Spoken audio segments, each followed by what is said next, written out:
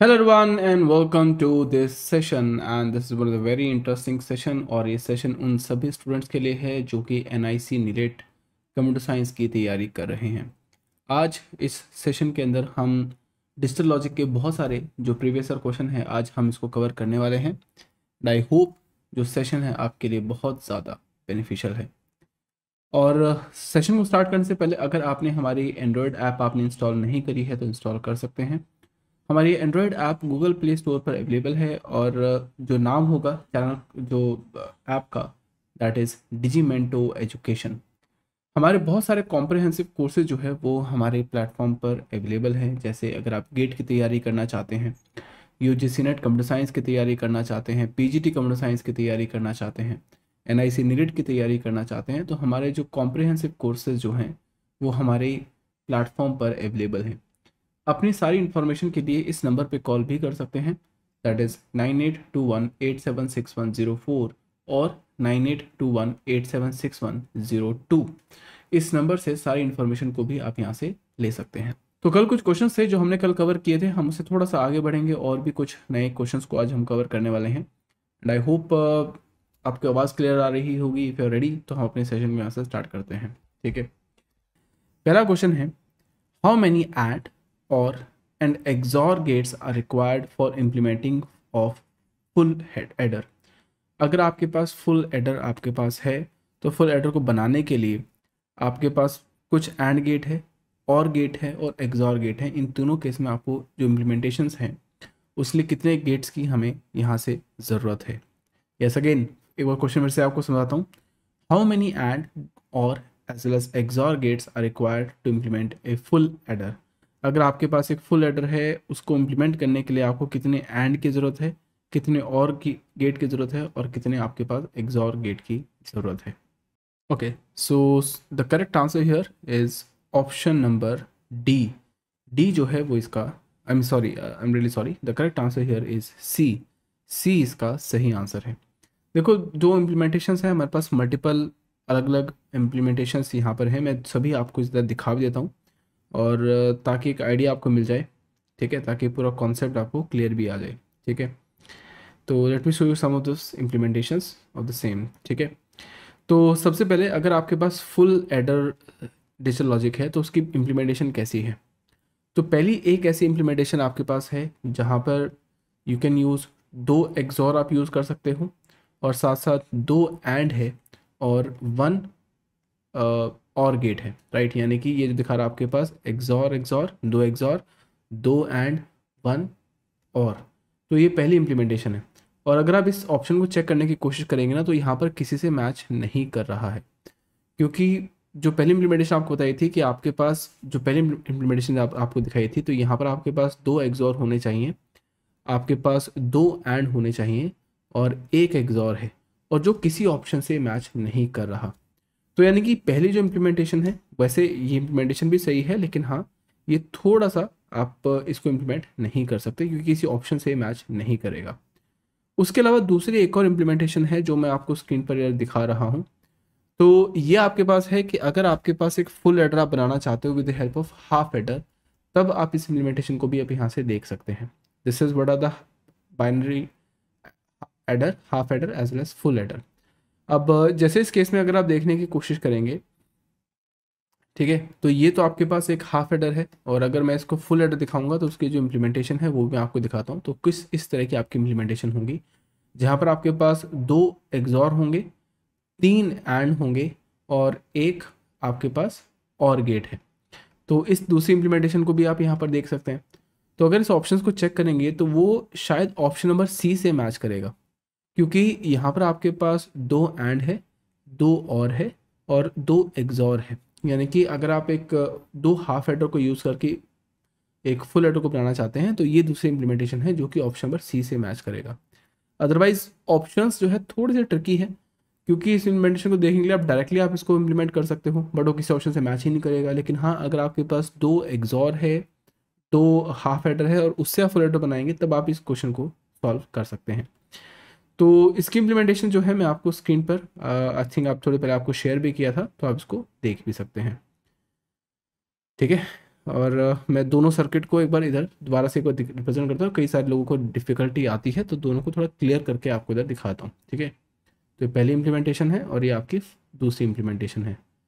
तो अगर ये अवेलेबल है, ये आपकी पहली इम्प्लीमेंटेशंस हैं। यहाँ पर आपके पास एक एग्जॉर है। आपके पास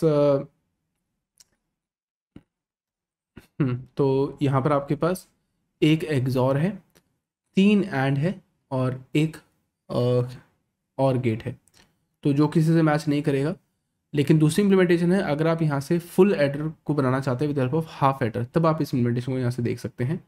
तो यहाँ पर आपके पास दो एग्जॉर है, यहाँ पर दो एंड है और एक यहाँ पर एज ए और की तरफ़ रिप्रेजेंट कर रहा है।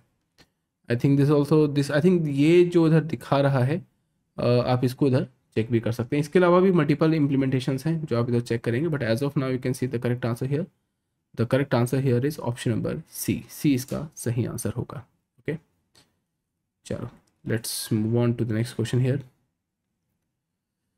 next question हमारे पास है a RAM chip has the capacity of one zero two four words of eight bits यानी कि वन के क्रॉस एट आपके पास है। The number of two cross four decoders with enable lines needed to construct a 32k cross 8 RAM from 1k to 8k RAM तो इस question को समझने की कोशिश करो, दोबारा से हमारे क्या चाहता है कि आपको एक रैम चिप आपको यहाँ से बनाना है और जो उसकी कैपेसिटी है वो यहाँ पर 1024 वर्ड के आसपास है। और हर एक वर्ड का साइज़ है एट बिट यानी कि पहली इम्प्लीमेंटेशन होगी वन के क्रॉस एट यानी कि हम इसको बोल सकते हैं यहाँ से one thousand twenty four cross eight ये इन टर्म्स ऑफ़ बिट्स में इधर गिवन है. एंड देन डिसाइड कि the number of two cross four decoders with enable lines need to be constructed आपके पास एक डिकोडर है, जहाँ पर टू क्रॉस फोर डिकोडर है, यानी कुछ इस तरीके से रिप्रेजेंट कर रहा है कि आपके पास दो इनपुट है और आपके पास चार आउटपुट है। ठीक है? बिकॉज़ ये एक डिकोडर है और टू क्रॉस फोर को हमने यहाँ से बनाया है। और इसके अंदर एक एनेबल लाइन है। ठीक है? एनेबल लाइन और कंस्ट्रक्ट ये इम्प्लीमेंटेशन यहाँ पर गिवन है कि आपके पास एक thirty two K cross eight RAM है। ठीक है? यानी कुछ ऐसा इसको बोल सकते हैं कि हम जो बनाना चाहते हैं यहाँ से वो है thirty two cross one thousand twenty four cross eight by using this हम इसको यूज़ करना चाहते हैं। तो कैसे इसकी इम्प्लीमेंटेशन है, आप यहाँ से देख भी सकते हैं।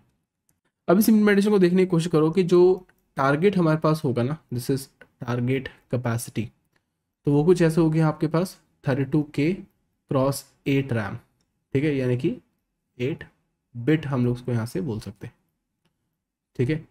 और जो बेसिक हमारे पास गिवन है, वो होगा आपके पास वन के क्रॉस एट और कितनी चिप्स की हमें रिक्वायरमेंट है, वो हमें यूज़ करना पड़ेगा इनको डिवाइड कर दो, यानी कि thirty two K multiplied by eight divide by one K cross eight तो ये दोनों यहाँ से कट जाएँगे के और के भी यहाँ से हट गया। तो यहाँ नहीं कि आपके पास टोटल थर्टी टू बिट्स की मतलब थर्टी टू चिप्स की हमें ज़रूरत होंगे। ठीक है, हमें थर्टी टू चिप्स की हमें यहाँ से ज़रूरत होगी, और जो कि टू रेस्ट पावर फाइव से इधर रिप्रेजेंट कर रहा है। फाइन अब इसको इम्प्लीमेंट करने के लिए हमें कुछ डिकोडर्स भी यूज़ करने पड़ेंगे। और हर एक डिकोडर का जो साइज़ है वो टू क्रॉस फोर है। टू क्रॉस फोर तो यानी कि जो भी वैल्यू आपके पास आ रहा है, अगर इसका लोगैर्थमिक मैं आपको ले लूँगा तो आपका से इधर पता जाएगा कि टोटल कितने डिकोडर्स की हमें ज़रूरत पड़ेगी।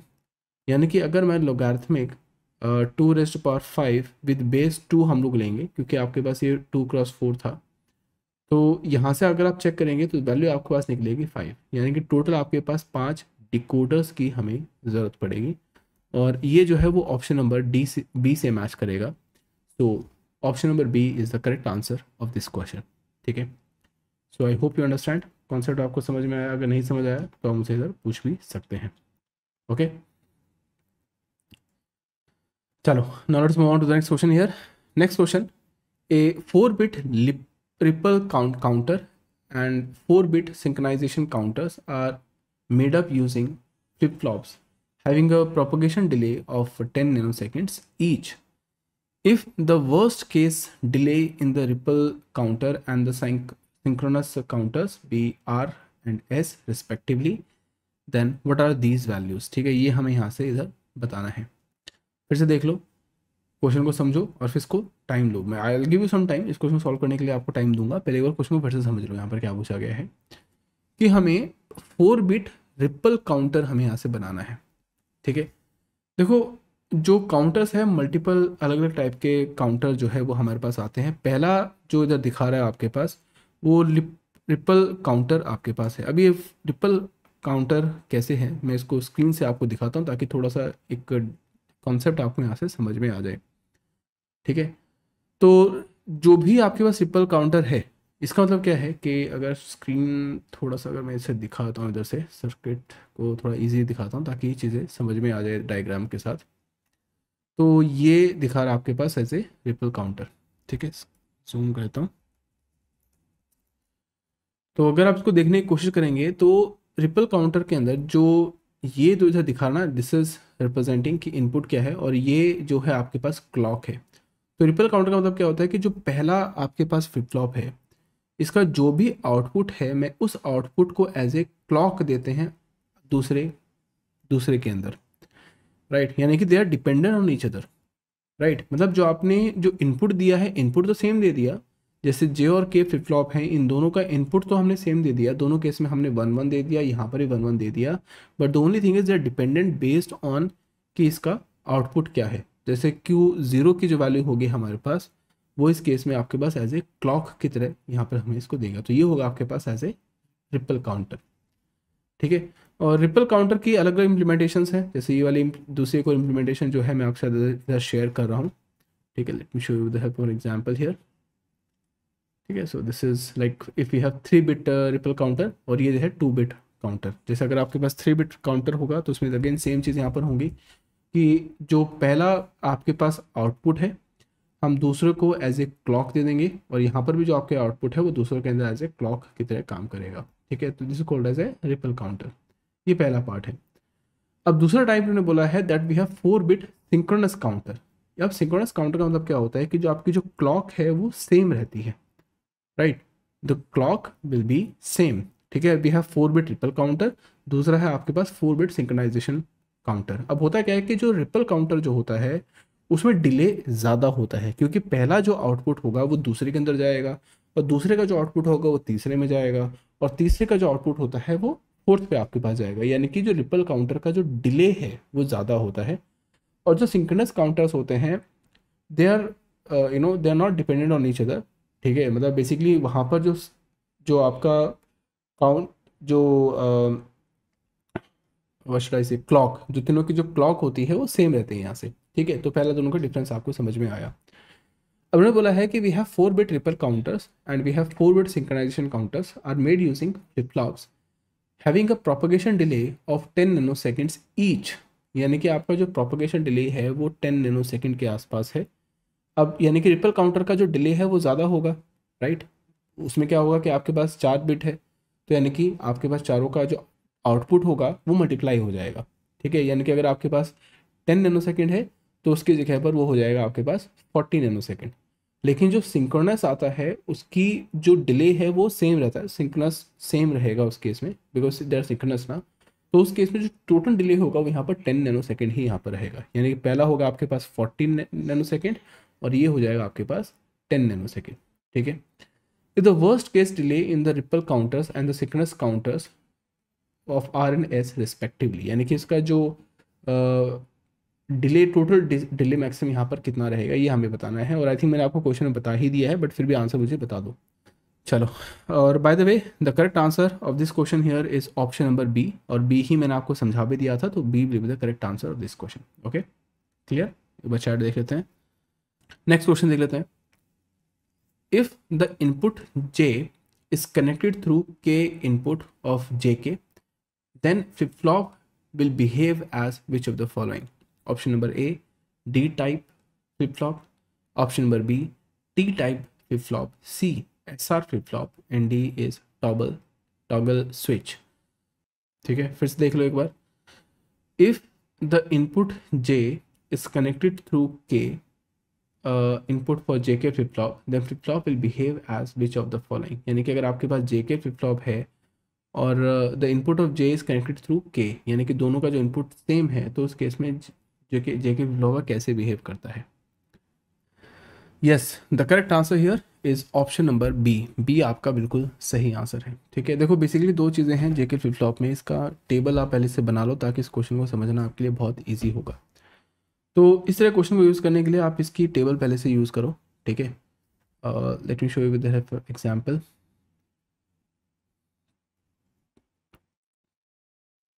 तो मैंने जे ले लिया के ले लिया, मैं क्यू ले लिया और क्यू नेक्स्ट को मैंने ऐसे बना दिया। तो सबकी value zero zero zero zero zero one zero one zero zero one one one zero zero zero one zero I think this is zero zero zero one one one zero and this is one one one ठीक है, सबसे पहले इसकी table बना लो यहाँ से।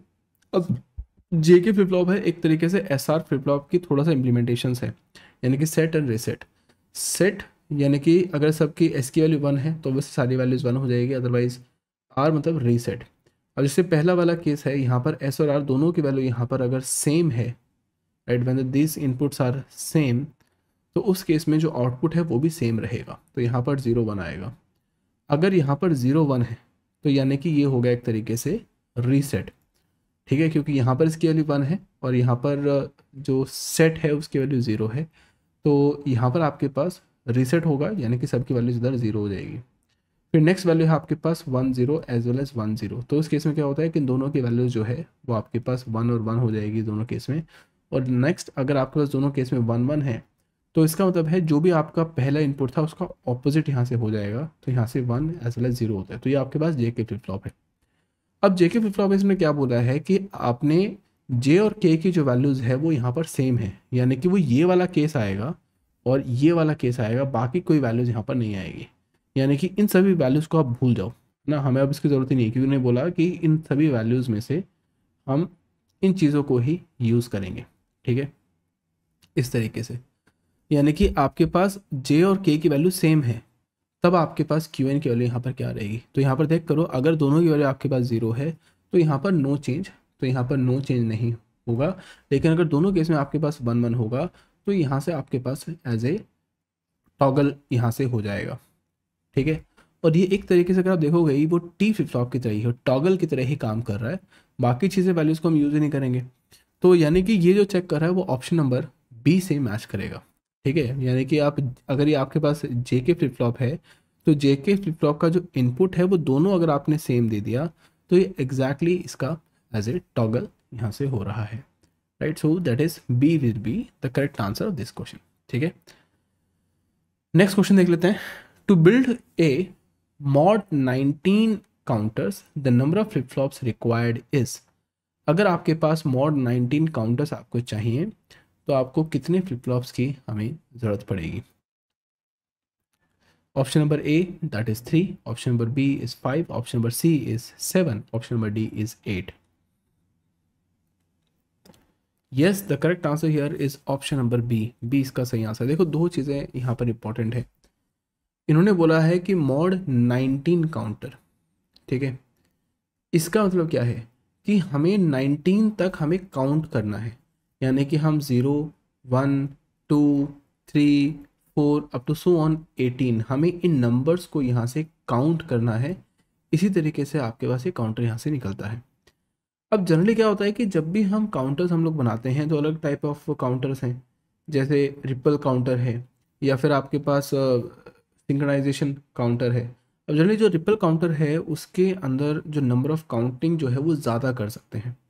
But जो भी काउंटर्स आप यहाँ से कर रहे हैं यू मेक श्योर कि इस रिपल काउंटर जो है, उसके जो काउंटर जो है वो ज़्यादा होते हैं, वो पावर की बेसिस पर ही यहाँ से होता है। जैसे two raise power one two raise power two two raise power three two raise power four इस तरीके से यहाँ से होता है। अब इस काउंटर्स के लिए हम ऑटोमेटिकली यहाँ से एक टेबल हम लोग यहाँ से बना सकते हैं और टेबल के बेसिस क्वेश्चन को हम लोग यूज़ करेंगे। अब कितने फ्लिप फ्लॉप चाहिए? जैसे अगर आप पास रिपल काउंटर है तो कितने फ्लिप फ्लॉप्स हमें चाहिए? उसको यूज़ करने के लिए हम इसको मॉडलस हम लोग यहाँ से निकालते हैं। अब जैसे अगर मैं टू रेस पावर वन करेंगे, यानी कि आपके पास सिर्फ़ एक ही फ्लिप फ्लॉप है तो यहाँ से दो ही काउंट कर पाएँगे। या तो हम काउंट ज़ीरो को काउंट करेंगे या फिर काउंट वन को यूज़ करते हैं। अगर आपके पास दो फ्लिप फ्लॉप है तो यानी कि टू रेस पावर टू निकलेंगे, यानी कि टोटल आपके पास यहाँ से फोर वैल्यूज़ को हम कैलकुलेट कर सकते हैं। यानी कि ज़ीरो वन टू और थ्री हम टोटल ये हम यहाँ से कैलकुलेट करेंगे। अगर मैं टू रेस पावर थ्री होगा तो यहाँ से टोटल एट काउंट कर सकते हैं। यानी कि zero one two three four five six as well as seven यानी कि ज़ीरो से लेकर सेवन तक। और अगर मैं रिपल रिपल काउंटर यूज़ कर रहे हैं तो यहाँ से आपको तीन फ्लिप से आपका काम हो सकता है। ऐसे ही अगर मैं टेज पर टूज पर फोर हम लोग करेंगे तो यानी कि हम टोटल सिक्सटीन हम कैलकुलेट कर सकते हैं ज़ीरो से लेकर टिल फिफ्टीन और अगर मैं टूज पर फाइव हम लोग करेंगे तो हम यहाँ से थर्टी टू को कैलकुलेट कर सकते हैं, यानी कि ज़ीरो से लेकर टिल थर्टी वन ठीक है? अब जो भी हमारी कितने फ्लिप फ्लॉप चाहिए वो इन दोनों के बीच में ही डिसाइड होगा। यानी कि वो फोर तो नहीं हो सकता ठीक है? क्योंकि फोर से हम सिर्फ़ टोटल सिक्सटीन तक ही कैलकुलेट कर सकते हैं। लेकिन हाँ, हाँ अगर हमारे पाँच फ्लिप फ्लॉप है तब आप इस कैलकुलेशन को आप यहाँ से देख सकते हैं। तो कहने का मतलब है कि to calculate this we just have to find logarithmic अगर मैं लोगार्थमिक 19 बेट्स टू और इसका जो सीलिंग वैल्यू निकलेगी तो आपको पता चल जाएगा कि टोटल आपके पास कितने फ्लिप फ्लॉप्स की ज़रूरत है। और उसको चेक करेंगे तो यहाँ से आपके पास टोटल फाइव निकलेगा। और इसी वजह से B will be the correct answer B जो है, वो आपका सही आंसर है। ओके चलो next question which of the following conditions must be met to avoid race around problem अगर आपके पास रेस अराउंड प्रॉब्लम है तो अगर आप रेस अराउंड प्रॉब्लम्स से अवॉइड करने के लिए हमें कौन सी कंडीशन यहाँ पर होनी चाहिए? और आई थिंक ये जो टीपी जो यहाँ पर रिप्रेजेंट कर रहा है, वो डिले दिखा रहा है यहाँ से आई थिंक है ना? बिकॉज़ टी पी की वैल्यू तो यहाँ से नहीं दी गई है तो एम इमेजिनिंग कि टी जो है वो टॉगल फ्लिप फ्लॉप हो सकता है शायद, और है ना? या फिर टी आई थिंक हाँ एक चीज़ और यहाँ से हो सकता है कि यहाँ पर टी का मतलब है that is representing time period ठीक है? वो टाइम पीरियड को यहाँ से रिप्रेजेंट कर सकता है, और टी पी जो है it is representing propagation delay ठीक है, वो प्रोपगेशन डिले होगा।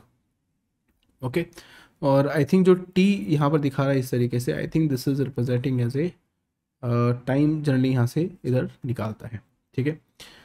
तो this what they're asking the following condition must be met to avoid race around problem right I think you understand the problem now give the answer here yes the correct answer I guess आप लोगों ने calculation कर दी दिया है। The correct answer here is option number B बीस का सही आंसर है। यानी कि जो भी आपकी कंडीशंस यहाँ पर होनी चाहिए, ठीक है? तो पहला है आपका जो टाइम पीरियड जो है वो यहाँ से ज़्यादा होना चाहिए और प्रोपोगेशन डिले से मतलब एक तरीके ज़्यादा होना चाहिए और टाइम पीरियड से कम होना चाहिए, ठीक है? तो तब आपके पास एक राउंड रॉइस रेस राउंड प्रॉब्लम से हम यहाँ से अवॉइड कर सकते हैं। तो करेक्ट आंसर यार is option number B B is the correct answer okay चलो next question how many flip flops are needed to divide the input frequency by 64 how many flip flops are needed to divide the input frequency by 64 तो I think same value यहाँ पर निकलेगी because हमें 64 यहाँ से दिया गया है।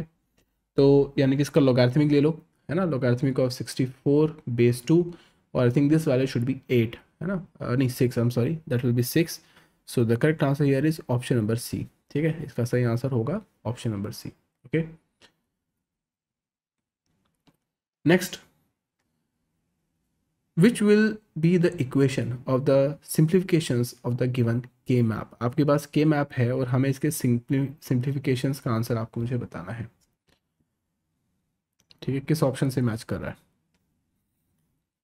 आई थिंक इजी क्वेश्चन है। ये तो बहुत इजी क्वेश्चन है। This from the K map देखो, इस क्वेश्चन को सॉल्व करने के लिए आपको दो चीज़ों की ज़रूरत है। पहला, आपके पास प्राइम इम्प्लीकेंट क्या होता है? असेंशियल प्राइम इम्प्लीकेंट यहाँ पर क्या है? क्योंकि हमारा जो भी सॉल्यूशन होगा ना, वो असेंशियल प्राइम इम्प्लीकेंट के बेसिस पर ही होगा। ठीक है?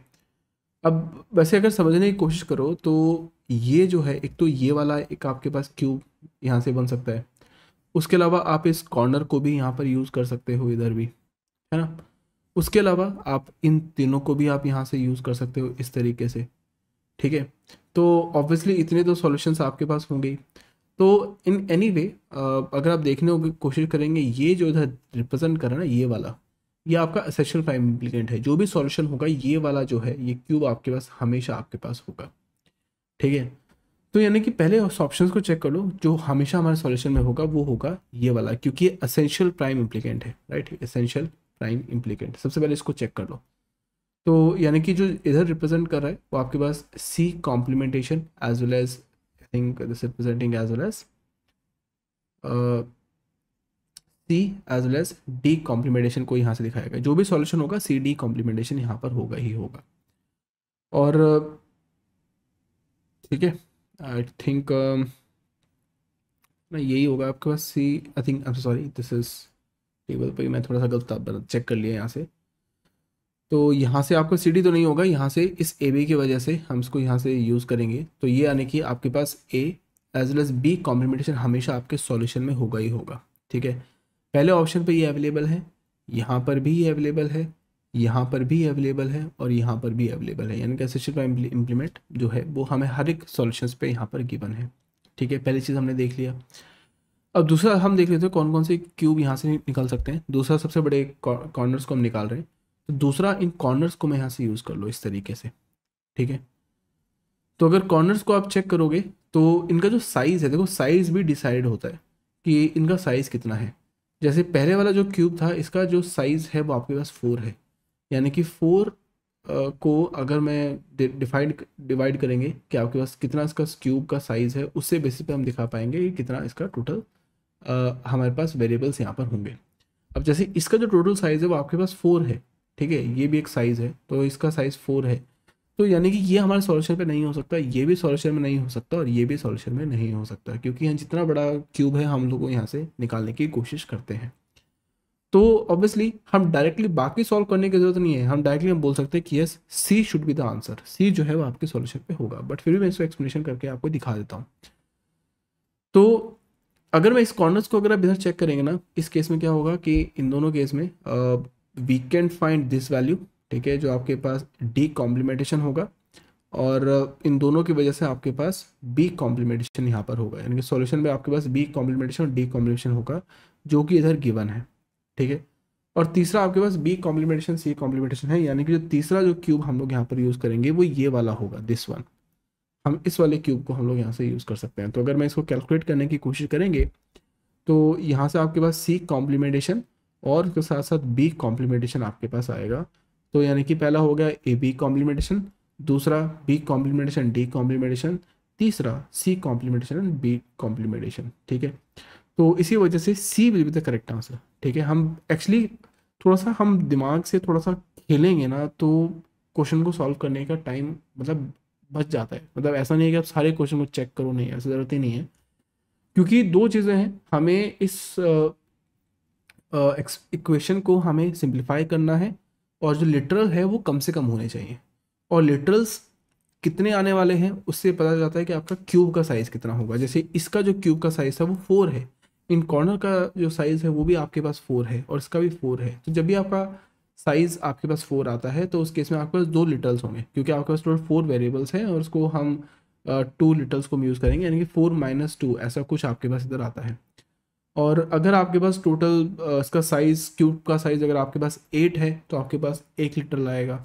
और अगर आपके पास जो भी है यहाँ पर, जैसे अगर फॉर जो भी नंबर ऑफ़ वेरिएबल्स है, ठीक है, जैसे वेरिएबल्स अगर आपके पास एक्स है उससे माइनस कर दो, जो इसकी पावर्स हैं, जैसे जो लिटल्स आपके पास आ रहे हैं, जैसे टू है या फोर है मतलब असेंशियल प्राइम इम्प्लीमेंट इम्प्लीमेंट है या फिर जो भी बड़ा आपका साइज़ है उसके वजह से हम वैल्यू को निकाल सकते हैं। तो as of now you can see the correct answer here is option number C ठीक है? Next question and given answer here the digital implement multiplexer is basically a combinational logic circuit to perform the operation option number A and and and option number B or as well as or as number C and and or option number D is or and and. फिर check करो। Digital multiplexer हमें multiplexer को हमने use किया है पहले तो बताया digital multiplication multiplexer is basically a combinations logic circuit to perform the operations. ठीक है? तो हम इसको यहाँ से बताना है। एंड uh, तो यानी इसको मल्टीप्लेक्सन को यूज़ करने के लिए कौन कौन से गेट की हमें ज़रूरत पड़ती है। Yes the correct answer here is option number C C इसका सही आंसर है, ठीक है? तो that is and as well as or तो जो सर्किट है सर्किट ऑब्वियसली मैं आपको बना भी सकता हूँ बट फिर भी आपके पास है तो मैं आपको दिखा देता हूँ, ठीक है?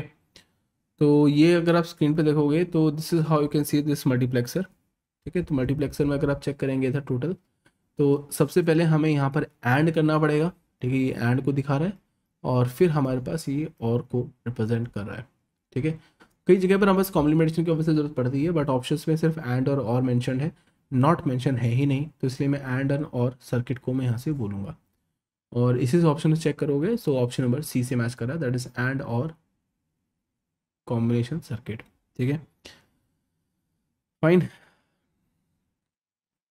तो शायद ये लास्ट क्वेश्चन था जो हम लोग यहाँ से सॉल्व कर रहे थे।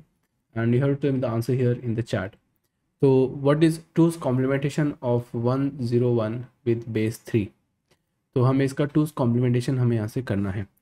तो टूज कॉम्प्लीमेंटेशन निकालने के लिए हमें क्या करना है? uh, या तो हम वंस कॉम्प्लीमेंटेशन निकालें या फिर आप टूज कॉम्प्लीमेंटेशन आप यहाँ से निकाल सकते हैं। और uh, थोड़ी देर पहले कल की क्लास में हमने इसको बताया था क्या तरीका है किस तरीके से हम इसको सॉल्व कर सकते हैं। तो मैं डायरेक्टली इसका सॉल्यूशन में पहुँच सकता हूँ। तो यहाँ पर जो है, वो आपके पास एक टर्नरी नंबर है। तो उसका सबसे बड़ी वैल्यू ले लो। जो सबसे बड़ी वैल्यू होगी हमारे पास, वो है टू टू टू इसमें से अगर मैं वन ज़ीरो वन को माइनस करेंगे तो आपकी एक वैल्यू यहाँ से निकल जाएगी। That should be one two one with base three friend अगर आपको याद होगा, कल की क्लास में ये एक हमारा डिस्कशन था।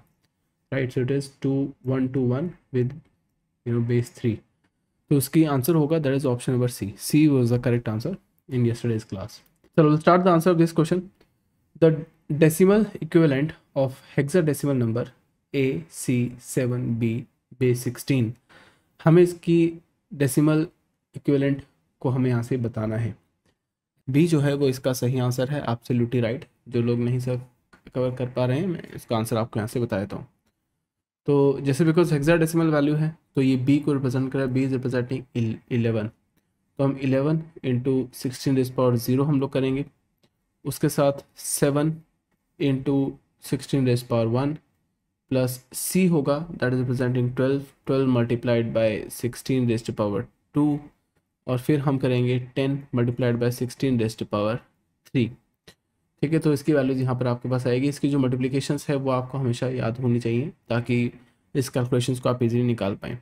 और अगर इस वैल्यू को आप सॉल्व करेंगे then I think you will be able to find the answer here the correct answer should be one one one four four one five five right so that is B is the correct answer B जो है वो आपका सही answer है। चलो now let's solve the next question here the decimal number has thirty digits आपके पास एक डेसिमल नंबर है जो थर्टी डिजिट्स की है। Approximately how many digits would the binary representation have अगर आपके पास एक डिजिटल नंबर है how many digits would the binary representations have तो आपके पास कितने uh, कितने डिजिट्स की नंबर होगी जो कि बाइनरी रिप्रेजेंटेशन है? यानी कहने मतलब है कि डेसिमल नंबर है और हमें डेसिमल नंबर को हमें बताना है इन टर्म्स ऑफ़ बाइनरी और बाइनरी के कितने डिजिट्स की हमें ज़रूरत होगी। शायद आप फिर इस क्वेश्चन को सॉल्व कर पाएँगे। Yes the correct answer here is D D इसका सही आंसर है। लेट मी एक्सप्लेन तो बेसिकली सबसे पहले चीज़ है कि हमारे पास एक डेसिमल नंबर है और ये जो डेसिमल नंबर है वो आपके पास थर्टी डिजिट्स का है। ठीक है? अब थर्टी डिजिट्स का मतलब है कि कुछ ऐसे रिप्रेजेंट कर सकते हैं कि जो नंबर आपके पास है that is one zero zero zero up to so on some zero is there ठीक है? अब ध्यान देना अब जो डेसिमल नंबर है, जो थर्टी डिजिट्स का है, उसकी एक रेंज होगी। यानी कि सबसे छोटी नंबर क्या होगी? और उसी तरीके से इसकी सबसे बड़ी वैल्यू कौन सी होगी? यानी कि सबसे बड़ी वैल्यू होगी जहाँ पर हम हर एक केस में, हम नाइन ही आएगा सब केस में। ठीक है? तो यानी कि अगर सबसे छोटी वैल्यू है, छोटी वैल्यू की वैल्यू कितनी होगी? So that is two raise to power I think sorry two ten raise power twenty nine ठीक है, क्योंकि इतने ज़ीरोज़ होते हैं तो ये सबसे छोटी वैल्यू होगी। और उसी तरीके से इसकी जो सबसे बड़ी वैल्यू होगी, कुछ ऐसी होगी ten raise power thirty minus one right I think ये जो है वो आपकी सबसे बड़ी वैल्यू होगी। तो हमें पता होना चाहिए कि सबसे मिनिमम वैल्यू कौन सी होगी, और उसी तरीके से हमसे सबसे बड़ी यानी कि मैक्सिमम वैल्यू क्या होगी, तब आप इस क्वेश्चन को सॉल्व कर सकते हैं।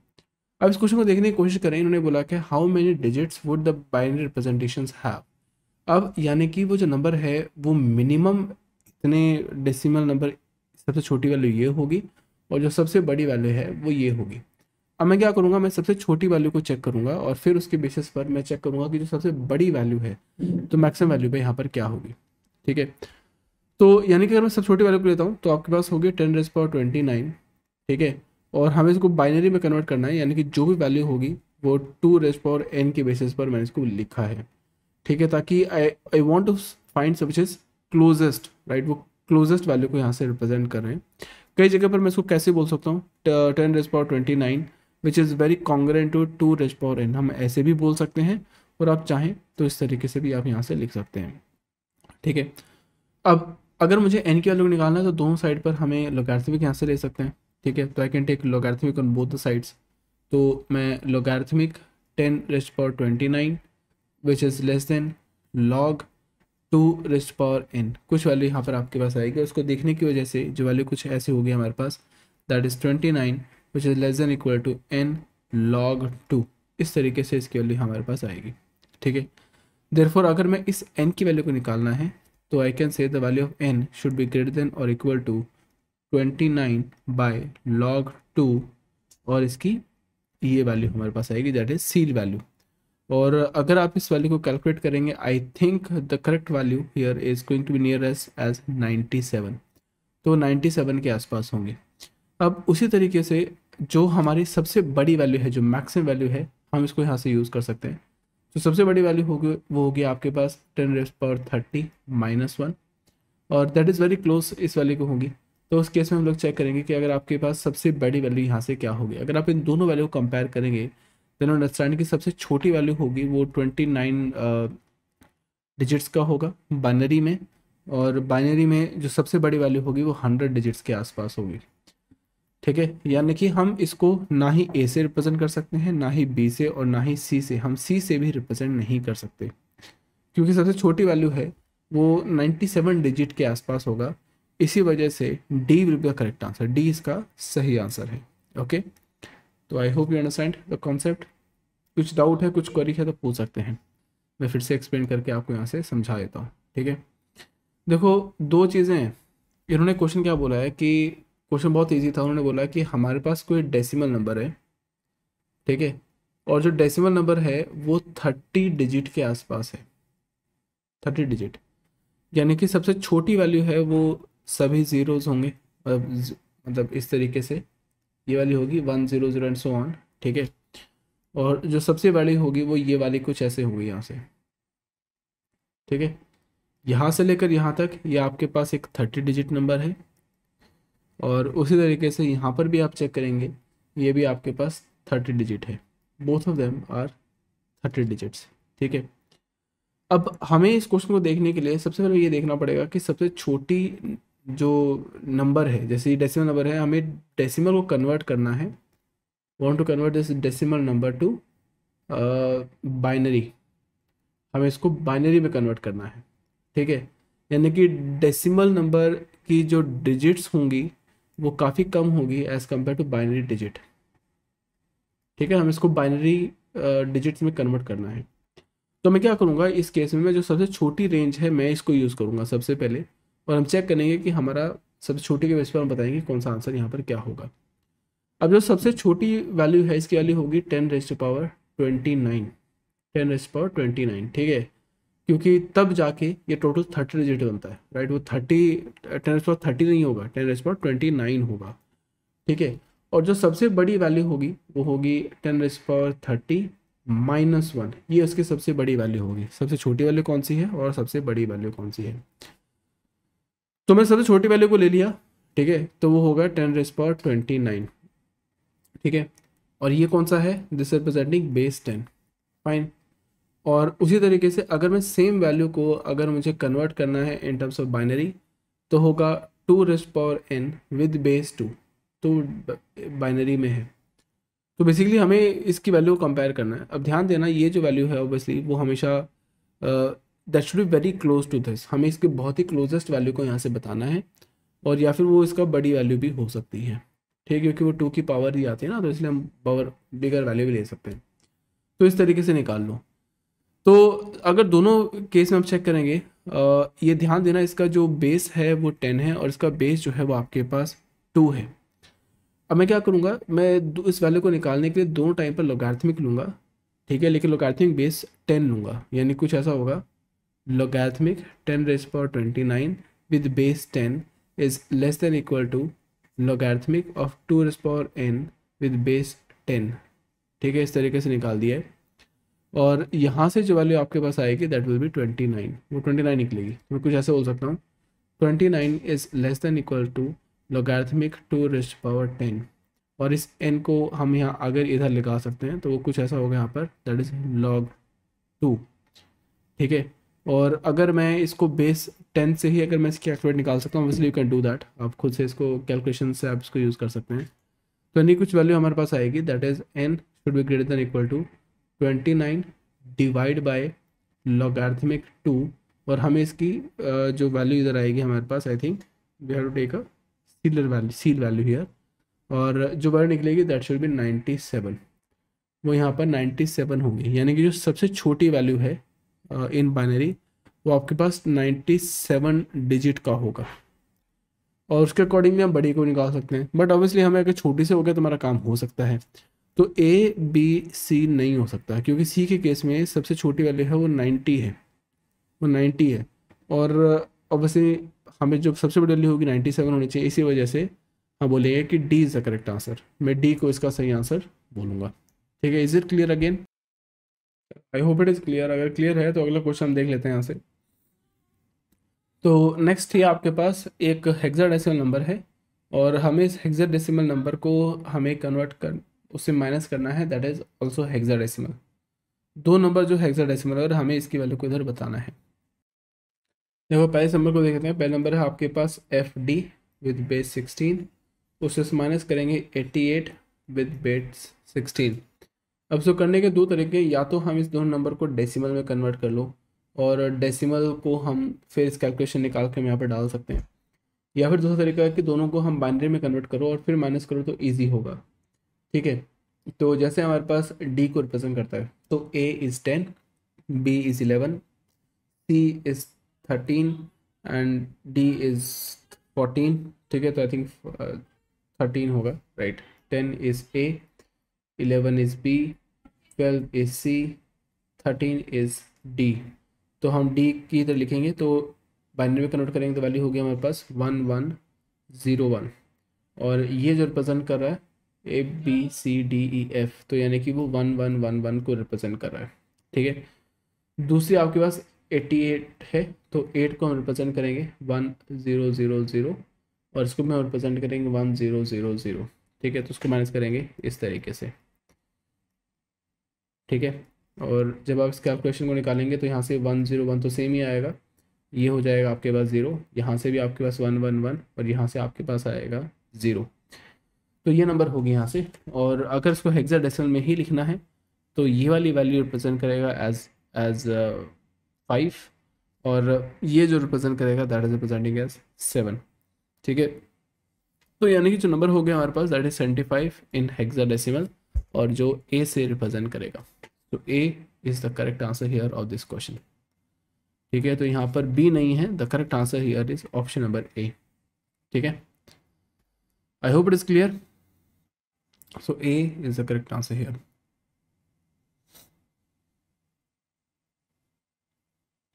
चलो क्लियर है तो अब आगे बढ़ते हैं यहाँ से। नेक्स्ट क्वेश्चन देख लेते हैं यहाँ से हमारे पास। The smallest integer that can represented by eight bit number in two complementation form is which of the following again the smallest integer that can be represented by 8 bit number in two's complementation, यानी कि सबसे छोटी value है, वो आपके पास क्या होगी? The correct answer here is option number B B आपका सही आंसर है। अगर आपके पास टोटल एन बिट नंबर है और अगर मुझे इसको टूज कॉम्प्लीमेंटेशन को निकालना है तो सबसे जो छोटी वैल्यू होगी, वो minus two raise power N minus one होगी। और जो सबसे बड़ी वैल्यू होती है that is two raise power N minus one minus one ये वैल्यू होती है। तो यानी कि इस केस में अगर मैं एट बिट की वैल्यू की बात करूँगा तो सबसे छोटी वैल्यू होती है माइनस वन ट्वेंटी एट और जो सबसे बड़ी वैल्यू होती है वन ट्वेंटी सेवन के बीच में होता है। तो इसी वजह से the correct answer here is option number B B आपका सही आंसर है ओके चलो now move on to next question here so give the answer here the number twenty five base six in the base six is equal to dash in the binary number system again फिर से देख लेते हैं. The number twenty five base six in the base 6 is equivalent to dash in the binary number system. तो जो हमारी equivalent number क्या होगी बाइनरी में, इस नंबर को हम कैसे लिख सकते हैं? Okay, so the correct answer here, i think answer is again option number B B ही इसका सही आंसर है, एक बार देख लेते हैं। हम क्या करेंगे? Five into six raised power zero और फिर हमारे पास आएगा two into six raised power one यानी कि twelve plus five which is representing as seventeen और हम सेवनटीन को रिप्रेजेंट करने के दो तरीके हैं। हम सिक्सटीन के साथ अगर हम वन को ऐड करेंगे तो आपके पास सेवनटीन आएगा। तो यानी कि कुछ ऐसा हो जाएगा। वन ज़ीरो ज़ीरो ज़ीरो और फिर हो गया आपके पास अगेन वन ठीक है? तो यानी कि जो वैल्यू यहाँ पर दिखेगी वो ऑप्शन नंबर बी को ही रिप्रेजेंट करेगा, ठीक है? So B is the correct answer जो ऑप्शन नंबर सी बोला था, वो भी गलत है और ऑप्शन नंबर ए किया था, वो भी गलत है। The correct answer here is option number B B आपका सही आंसर है ओके चलो now let's move on to the next question here. This next. The decimal has 25 digits. The number of bits needed for its equivalent binary representations is approximately again i'm saying the decimal has 25 digits. आपके पास एक decimal number है जो 25 digit का है। और the number of bits needed for its equivalent binary representations यानी कि सेम क्वेश्चन है, जो थोड़ी देर पहले हमने क्वेश्चन सॉल्व किया था, बस फ़र्क क्या हो गया कि पहले हमने वहाँ से थर्टी डिजिट्स का यहाँ पर देखा था, यहाँ से ट्वेंटी फाइव हो गया। तो पूछा कि ट्वेंटी फाइव डिजिट को अगर मैं बाइनरी में कन्वर्ट कर रहा हूँ तो कितने डिजिट्स होंगे? तो इसको देखने की कोशिश करो। तो सबसे पहले हमारे पास यहाँ रिप्रेजेंट करा वो आपके पास ट्वेंटी फाइव डिजिट है। यानी जो सबसे छोटी वाली होगी, वो ten raise power twenty four के आसपास होगी और जो सबसे बड़ी वाली होगी, वो ten raise power twenty five के आसपास होगी। Right to that is ten power twenty five minus one ठीक है? ये हो गया हमारे पास मिनिमम और ये है मेरे पास मैक्सिमम ठीक है? आप किसी को अब यूज़ कर लो। तो अगर मैं मिनिमम को यूज़ कर देता हूँ मिनिमम क्या होगा हमारे केस में? हम ten raise to power twenty four that is very close to ठीक है? हम instead of saying equal to I should say close to तो it is close to two raise to power N तो दोनों का logarithmic ले लो। So I am saying logarithmic ten twenty four and that is logarithmic of two raised power N तो यानी कि कुछ ऐसा होगा twenty four is very close to log of N log two और you can say the value of N is very close to to spot twenty four divide by logarithmic two और अगर, फिर लोगों लॉगैथमिक की वैल्यू नहीं है तो पूछ लेता हूँ यहाँ से, ठीक है? Logarithmic logarithmic value I think also है कैलकुलेटर ना, मैं चेक कर लेता हूँ सिस्टम पे कैलकुलेटर आता है हमारे पास, अगर यहाँ पर अवेलेबल है तो। ठीक है?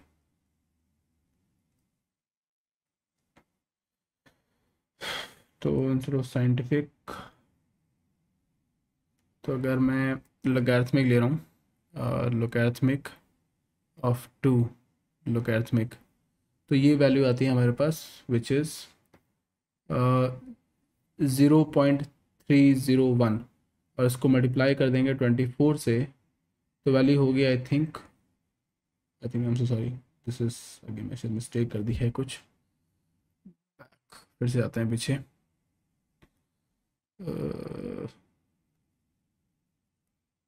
ठीक है तो हमने क्या किया था?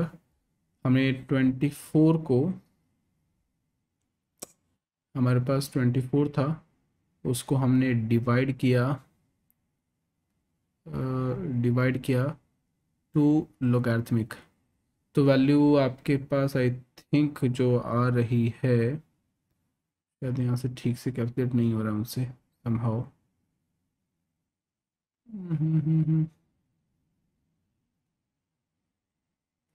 या फिर let me do one thing तो हम जस्ट गिव मी सेकेंड तो हमारे पास टू लॉग निकालेंगे तो इसकी वैल्यू है zero point three zero one इस डिजिट को मैंने ले लिया है यहाँ से। और इसको मैंने मल्ट इस वैल्यू को निकालने के बाद मैंने कर दिया है twenty four divide by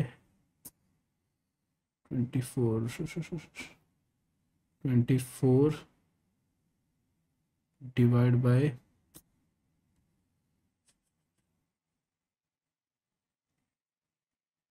कैसे कैसे पहुँचेंगे यहाँ से?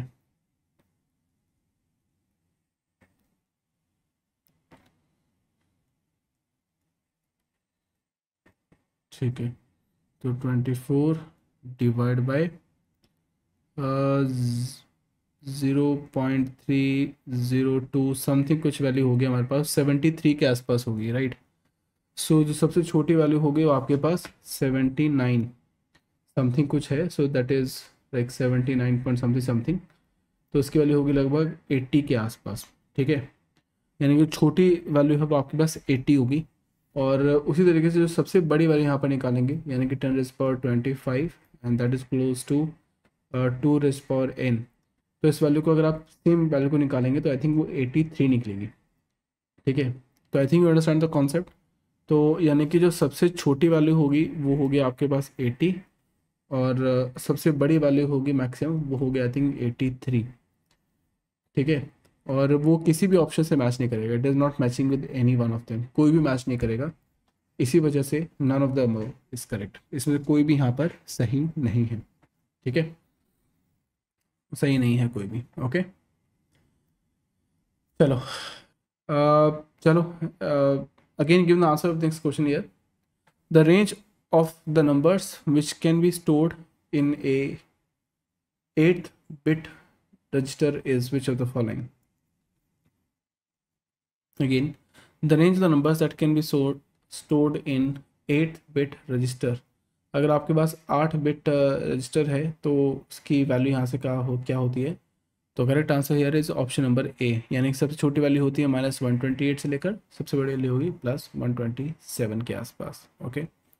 What will be the final output of a D flip flop if the input string is this much? अगर आपके पास एक D flip flop है और हम आपको ये string input हम लोग यहाँ से दे रहे हैं तो आपका आउटपुट यहाँ से क्या रहेगा, वो हम यहाँ से बता रहे हैं। वो फिर से चेक कर लीजिए क्वेश्चन में क्या है कि हमारे पास एक फ्लिप फ्लॉप है, ठीक है? मैं स्क्रीन पे ऐसे दिखाता हूँ कि आपके पास ये फ्लिप फ्लॉप है, ठीक है? फ्लिप फ्लॉप और इसके अंदर कुछ इनपुट है और ओबियसली इसके अकॉर्डिंगली हमारे पास एक आउटपुट भी रहेगा। और इसका कॉम्प्लीमेंटेशन भी निकलेगा। ठीक है तो हमें बताना है कि अगर मैं इस स्ट्रिंग को यहाँ से दे रहे हैं तो आपका आउटपुट यहाँ से क्या रहेगा? And the correct answer here is option number A A आपका सही आंसर देखो, ध्यान दो डी फ्लिप फ्लॉप का काम क्या होता है? कि जो भी आपका इनपुट है, वही आपका आउटपुट भी रहेगा। इनपुट और आउटपुट दोनों सेम रहेगा। अगर इनपुट वन है तो आउटपुट भी वन रहेगा। अगर आपका इनपुट ज़ीरो है तो आउटपुट भी ज़ीरो बन जाएगा। अब इनमें फ़र्क क्या होता है? Why we use D flip flop D flip flop हम इसलिए यूज़ करते हैं ताकि हम एक बिट को हम सेव कर पाए। मतलब उसको एक बेट जो जो बिट बिट की जो भी वैल्यू है, वो हम उसको यूज़ कर पाए फ्यूचर में। क्योंकि ताकि वो जो जो वैल्यू है, वो एक फ्लिप फ्लॉप में एज ए लैच लैच की तरह यूज़ करता है। यानी कि वो मेमोरी को सेव करता है। यानी कि अगर जैसे ये वाली जो स्ट्रिंग है आपके पास स्ट्रिंग है हमारे पास one one zero one zero zero one one अब इस इनपुट में उन्होंने ये नहीं बताया कि हम लेफ़्ट से राइट की तरफ़ एवेलुएट कर रहे हैं या फिर राइट से लेफ़्ट एवेलुएट कर रहे हैं। तो मैं इस तरीके से एवेलुएट कर रहा हूँ। तो बेसिकली अगर मेरे पास पहला इनपुट वन है तो आउटपुट भी वन निकलेगा। फिर आपका दूसरा वन होगा तो भी आउटपुट वन रहेगा।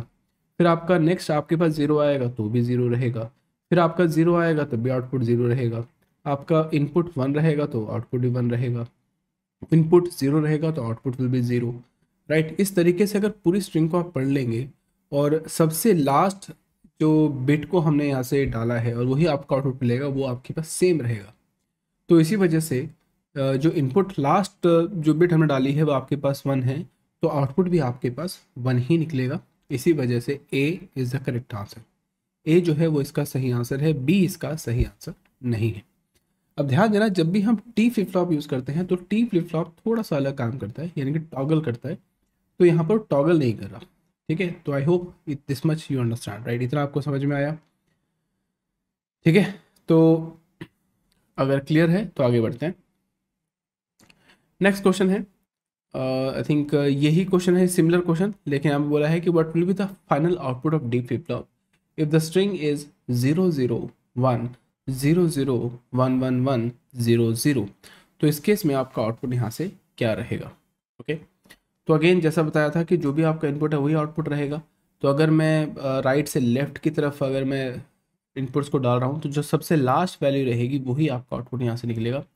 इसी वजह से जो output here is going to be zero only इसी वजह से बी आपका सही आंसर होगा। ठीक है? चलो गुड नेक्स्ट क्वेश्चन है। नेक्स्ट क्वेश्चन है the output of the sequential circuit depends on which of the following अगर आपके पास सिक्वेंशियल सर्किट है उसका आउटपुट किसके ऊपर डिपेंडेंट होता है? Option number A that is present inputs only option number B that is past inputs only option number C both present as well as past input and D is representing present outputs uh, present outputs only right? फिर से आप इसको check करो। ठीक है? जब भी आपके पास इक्वेशनल सर्किट आता है, उसका जो भी आउटपुट आपके पास रहेगा, वो आउटपुट किसके ऊपर डिपेंडेंट होता है? पहला, कि हम सिर्फ़ प्रेजेंट इनपुट के ऊपर डिपेंडेंट करते हैं, या फिर हम इसके पास्ट इनपुट के बारे में ही हम जो इनपुट है उसके ऊपर ही डिपेंडेंट होता था उसका आउटपुट यहाँ से आएगा। या फिर वो बोथ प्रेजेंट और पास्ट भी हो सकता है and D is representing present outputs only and the correct answer here is option number C C इसका सही आंसर है, क्योंकि जो सिक्वेंस सर्किट का जो भी इनपुट होगा, वो पास्ट वैल्यू को भी ले सकता है, उसके अलावा वो प्रेजेंट वैल्यू को भी ले सकता है। इसी वजह से C is the correct answer D इसका सही आंसर नहीं है। C is the correct answer अगर क्वेश्चन फिर से देख लो। The output of a sequential circuit depends on option number A present inputs only option number B past inputs only option number C both present and past uh, inputs and D is present in outputs only and the correct answer is option number C both present as well as past ठीक है चलो next question देखते हैं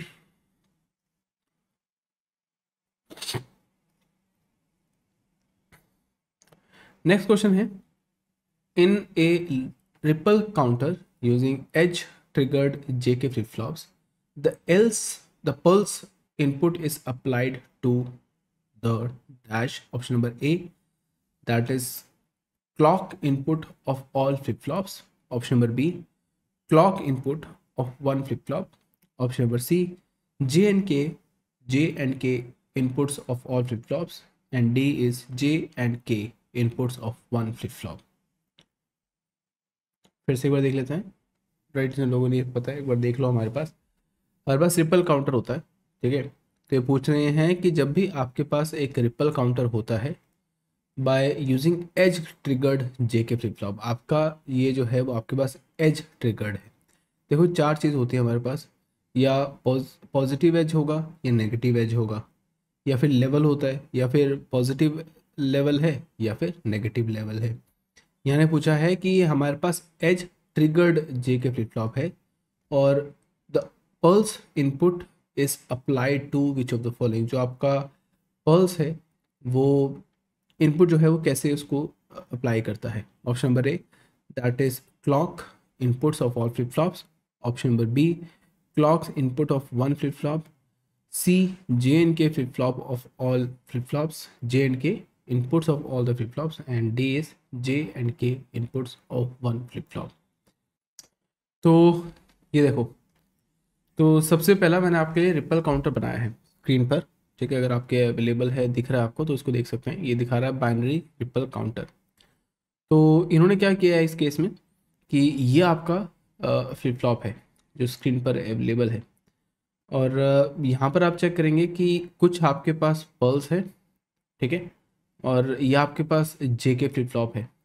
अब ध्यान देना, दोनों case में हमने क्या किया है कि जो भी पहला जे के फ्लिप फ्लॉप है जो भी इसका आउटपुट आ रहा है, हमने दूसरे जे के फ्लिप फ्लॉप को हमें एज ए क्लॉक की तरह हमने यहाँ से बनाया है। Right representing as a clock ठीक है? तो ये चीज़ है जो आप यहाँ से देख सकते हैं। और जैसे इस केस में अगर आप इस डायग्राम में आप चेक करेंगे आई थिंक कुछ और डायग्राम है तो मैं आपको भी दिखाता हूँ यहाँ से। तो जैसे this is one more example here तो एक और एग्जांपल जो है मैंने आपको यहाँ से बना दिया है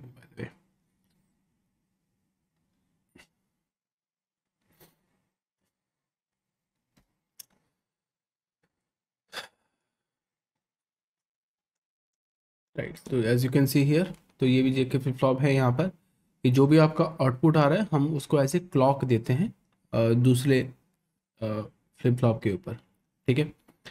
अब यही इन्होंने पूछा हुआ है पहले, और ध्यान देना इन दोनों केस में जो भी आपका जे के फ्लिप फ्लॉप की वैल्यूज़ थी वो सेम थी। ठीक है, अगर आपको यहाँ पर ध्यान रहेगा कि ये आपके पास एज ए जो इनपुट है, हमने जे और के दोनों केस में हमने सेम इनपुट यहाँ से डाला था। और अगर मैं थोड़ा सा आगे जाएँगे, इसके अंदर और भी वैल्यूएशंस और भी तरीके से हम लोग यहाँ से रिप्रेजेंट करते हैं। जैसे आप यहाँ पर चेक कर सकते हैं, यहाँ पर भी। आपने इन सभी के अंदर भी जो आपका इनपुट है, ठीक है इन जे के वो सेम है सभी केस में, ठीक है? लेकिन जो आपका आउटपुट आ रहा है, हम उसको ऐसे क्लॉक की तरह हम यहाँ से बनाते हैं।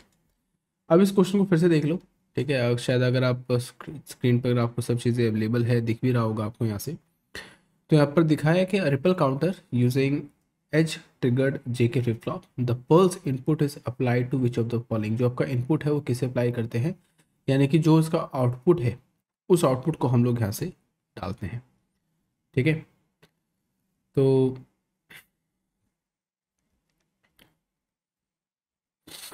आप यहाँ से obviously you can see here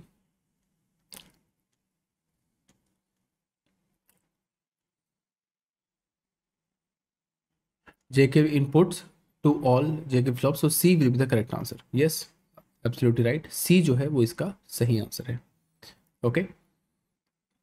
चलो, आगे बढ़ते हैं। नेक्स्ट क्वेश्चन देख लेते हैं यहाँ से। A sequential circuit output of one when an even number of one are inputs otherwise the output is zero the minimum number of states required is dash option number A zero B one C two and D is three फिर check करो।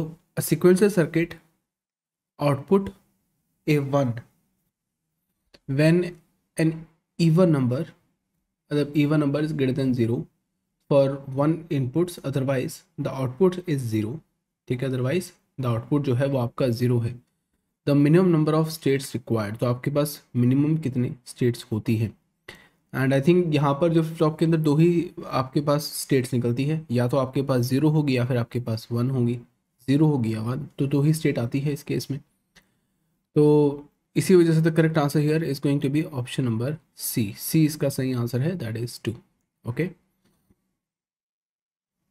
okay so where the correct answer here the correct answer here is C चलो next question देख लेते हैं। If a clock with the time period T आपका time period जो है वो टी है। It is use with one stage shift registers then the output of the final state will be delayed by option number A some values is there ठीक है?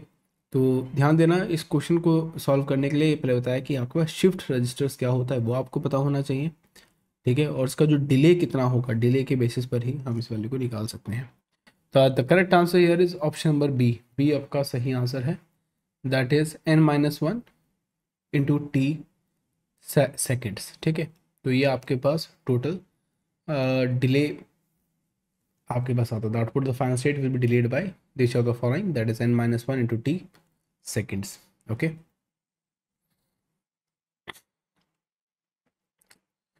so if you need any अगर आप कुछ चाहते हैं if you need explanation तो आप मुझे बता भी सकते हैं but I think simple configuration हैं तो।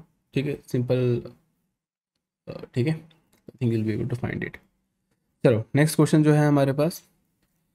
In a ripple counters using H trigger J K flip flops the pulse input is allowed is applied to which of the following I think ये मैंने थोड़े पहले ही आपको यहाँ से बताया भी था। तो ये तो हम लोग कर चुके हैं यहाँ से।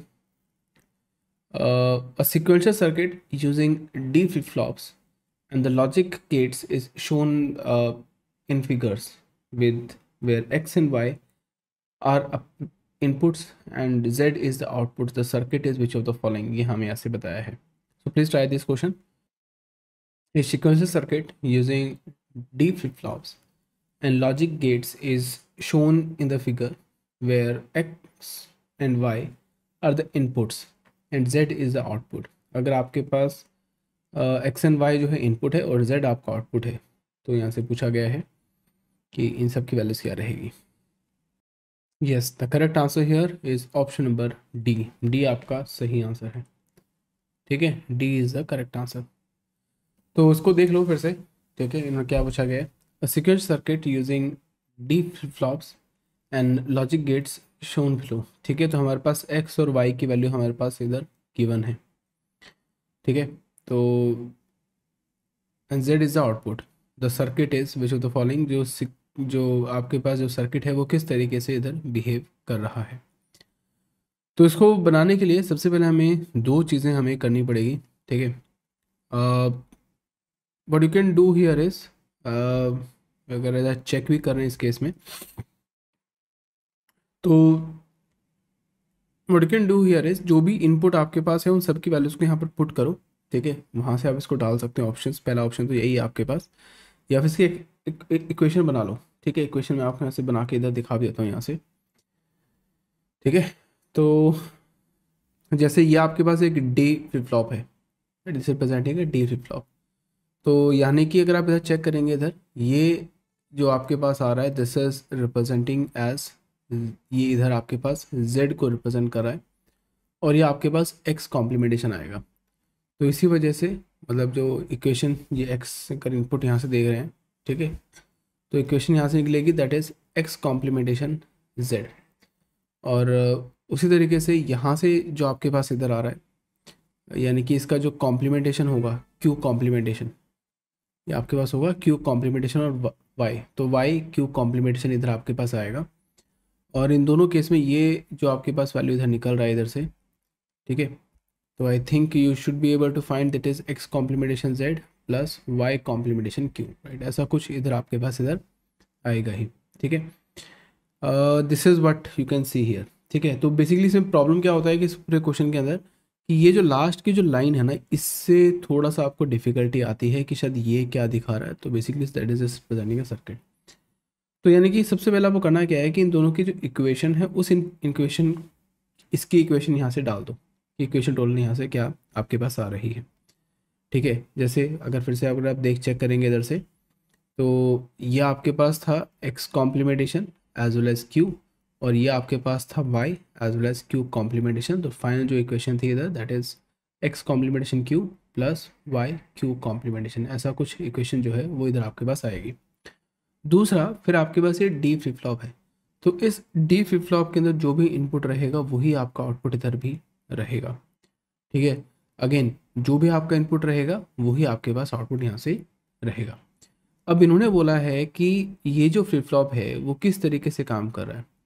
ठीक है? जैसे, पहले तो देख लो सर्किट कैसे काम कर रहा है तो सर्किट को हम लोग चेक कर लो और फिर हमें इक्वेशन को आप चेक कर लो। जैसे पहला ऑप्शन है आपके पास S R flip flops with inputs X is equal to R and Y is equal to S यानी कि अगर मैं यहाँ पर आर दे रहा हूँ और मैं यहाँ से एस दे रहा हूँ तो ये आपका जो फ्लिप फ्लॉप है वो कैसे बिहेव कर रहा है? दूसरा ऑप्शन है कि हमने इधर पहले एस दे दिया है और यहाँ पर आपके पास आर दे दिया है, इस तरीके से बिहेव कर रहा है। और ऐसे ही सी को हमने यूज़ कर दिया है और डी को मैंने यहाँ से यूज़ कर दिया because obviously a little lengthy है, थोड़ा सा लेंदी हो सकता है यहाँ से। तो what you can do here is दो चीज़ें आप यहाँ से कर सकते हो। या तो you can find this equation ठीक है? इसकी वैल्यू यहाँ से निकाल लो।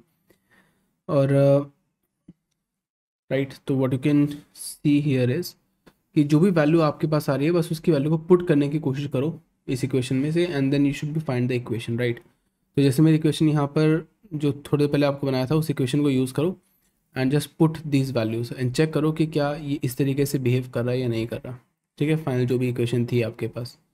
ठीक है, जैसे इधर इक्वेशन थी आपके पास एक्स कॉम्प्लीमेंटेशन और ये आपके पास क्यू था और यहाँ से जो इक्वेशन थी आपके पास that is Y as well as Q complementation थी। तो हम लोग क्या कर सकते हैं, पहला ऑप्शन में ये है कि हमें जहाँ पर भी एक्स था, उधर आर डाल दो। यानी अगर मैं आर कॉम्प्लीमेंटेशन क्यू करूँ प्लस वाई की जगह पर मैं एस क्यू कॉम्प्लीमेंटेशन कर देंगे। दूसरा ऑप्शन कुछ ऐसा है आपके पास that is R complementation Q plus R Q complementation आएगा ऑप्शन नंबर थ्री आप यहाँ से जे कॉम्प्लीमेंटेशन क्यू यहाँ से दे देंगे और यहाँ से आपके पास आएगा that is K Q complementation और जो लास्ट ऑप्शन है, वो आपके पास रिप्रेजेंट कर रहा है as A that is K complementation Q plus Y complementation Q complementation right why I think this representing as A as A J ठीक है? और अगर आपको शायद याद होगा कि जब भी हम जे के फ्लिप फ्लॉप को यूज़ करते हैं, ठीक है तो उसकी जो करेक्टरिस्टिक इक्वेशन है वो इसको ही रिप्रेजेंट कर रहा है। ठीक है what you can do here is अगर आपने डिजिटल लॉजिक आपने पढ़ा है तो इसकी जो जो इसकी कैरेक्टरिस्टिक टेबल है, जो इसकी जो इक्वेशन अगर आप इक्वेशन चेक करोगे किससे मैच कर रहा है then you should be able to find this question very easily आप इसको बहुत इजीली इसको सॉल्व कर सकते हो। Otherwise what you can do here is आपको खुद इक्वेशन को बनाना पड़ेगा और फिर उसको सॉल्व करना पड़ेगा। हमारे पास कोई शॉर्टकट नहीं है इस क्वेश्चन के अंदर। इस पूरे क्वेश्चन में ना सबसे बड़ी चीज़ यही है कि आपके जो इक्वेशन जो करेक्टरिस्टिक इक्वेशन अगर आपको याद है तो इस क्वेश्चन को सॉल्व करने के बाद सेकेंड्स में आप इसको सॉल्व कर सकते हो अदरवाइज़ आप नहीं कर पाएँगे। तो you can see here the correct answer will be option number D D आपका सही आंसर है, जो आपके पास इधर आया भी है। ठीक है? चलो next question give the answer here a ripple counters using H triggered J K flip flops the pulse applied to which of the following I think ये हम पहले कर चुके हैं पहले से। uh, ये वाला क्वेश्चन है। आई थिंक एक या दो क्वेश्चन बचे हैं हमारे पास। The number of columns in the state table of a sequential circuit with m flip-flops and n inputs is option number A that is m plus n. Option number B m plus 2n option number C, two M plus N, and D is representing two M plus two N. The number of columns in a state table for sequential circuit, M flip flops in N inputs is which of the following. यानी कि जो आपके जो column है जो table हम बनाते हैं सिक्वेंशियल सर्किट के अंदर तो उसके अंदर कितने कॉलम बनते हैं? Yes the correct answer here is option number C C आपका सही आंसर है that is two M plus N ठीक है? टू एम प्लस एन तो बेसिकली सिंपल सा कॉन्सेप्ट है. या तो जो भी फ्लिप फ्लॉप है, अगर इमेजिन करो कि जो भी सिक्वेंशियल सर्किट है, ऐसा भी हो सकता है कि आपके पास एक फ्लिप फ्लॉप है. If we have one flip flop ठीक है? जैसे मैंने जे के फ्लिप फ्लॉप को यहाँ से बना दिया है. This is J and this representing K ये आपके आउटपुट्स हैं.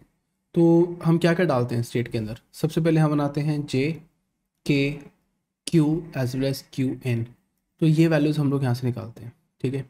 अब जैसे इस केस में डालता कि फ्लिप फ्लॉप के आपके पास वन था और जो इनपुट था वो आपके पास दो था।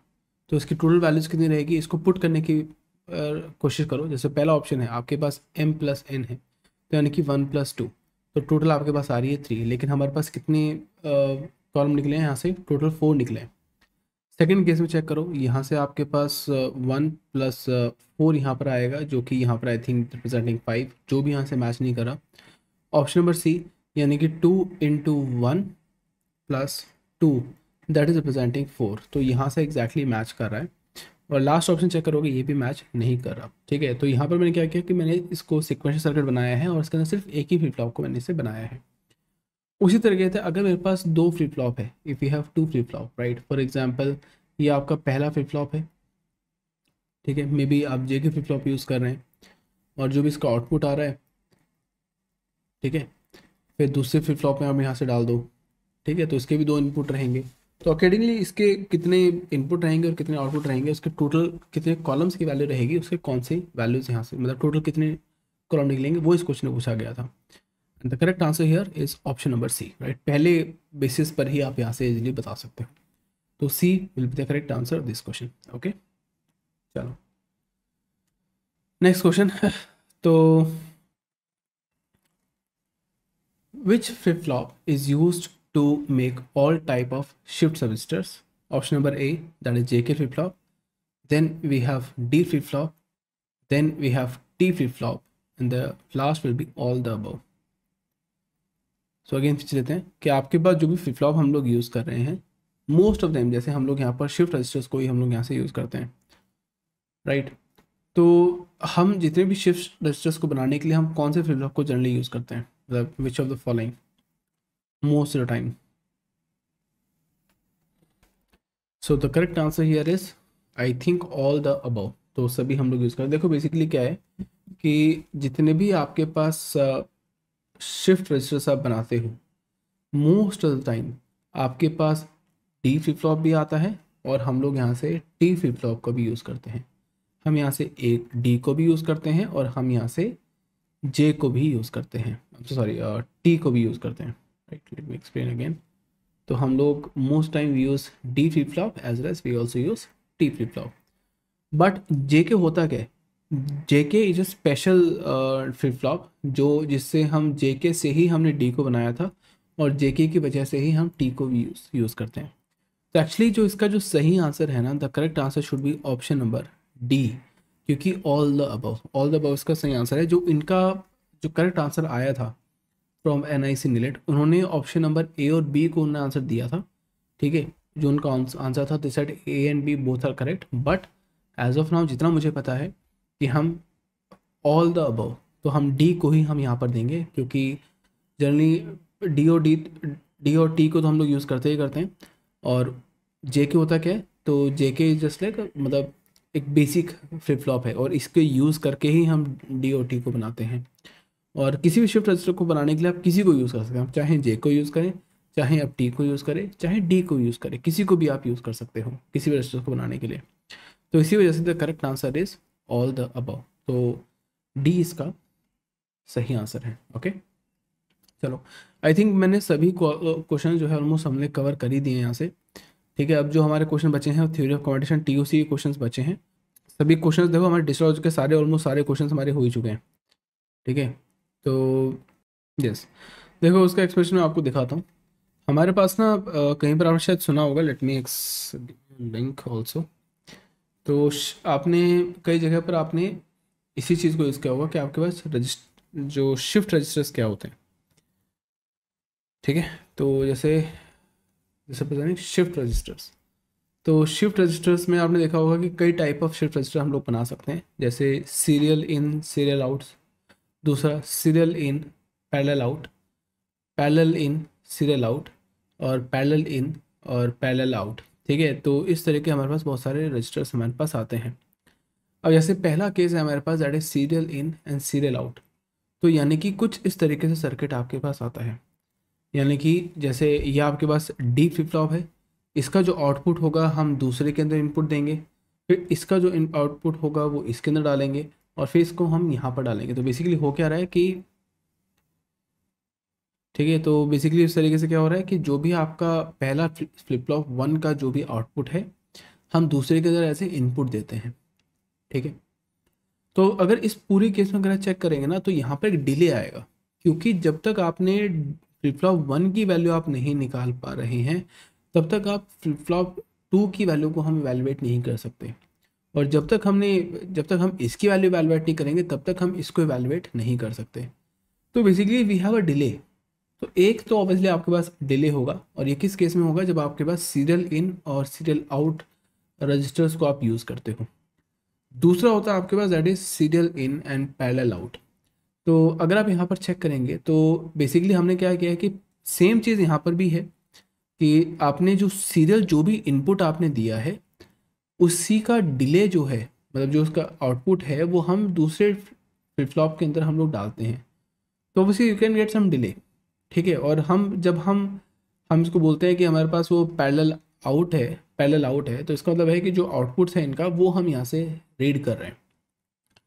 तीसरा है आपके पास parallel in and serial out तो यानी कि इन सबका जो भी आपके पास इनपुट्स हैं, आप उसको पैरेलली दे रहे हैं, और उसके अकॉर्डिंगली आप यहाँ से जो आउटपुट है वो यहाँ से निकाल सकते हैं, है ना?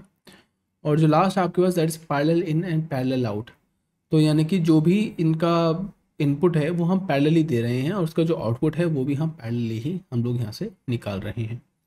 तो पहली चीज़ तो है कि हमारे पास चार टाइप का है देर फोर टाइप्स अब अगर आप ध्यान देखोगे तो पहले जो दो केसेस थे हमारे पास, ठीक है which is serial in and serial out as well as serial in as well as parallel out ठीक है, इन दोनों केस में you can find some delay इसका जो इनपुट होगा, उसका आउटपुट जो है, उसके अकॉर्डिंगली ही यहाँ पर आप यहाँ से वैल्यूएट कर सकते हो।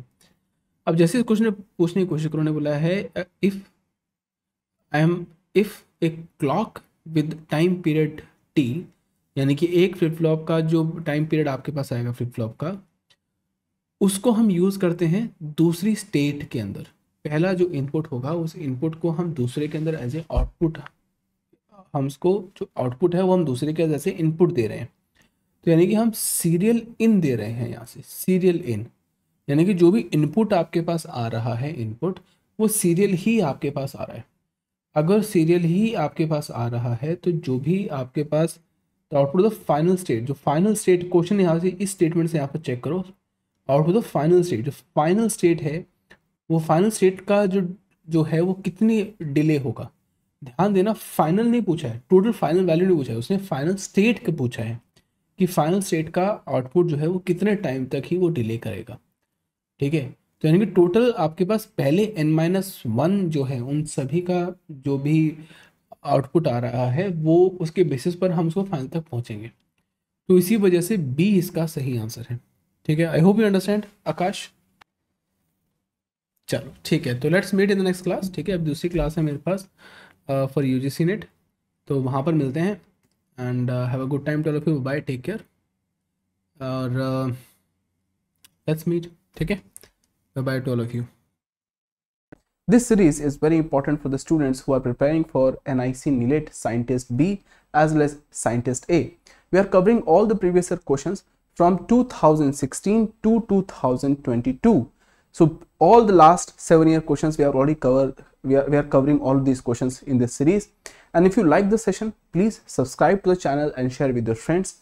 And at the same time, please install our Android app from the Google Play Store. And you can also use our contact numbers that is 9821 876104.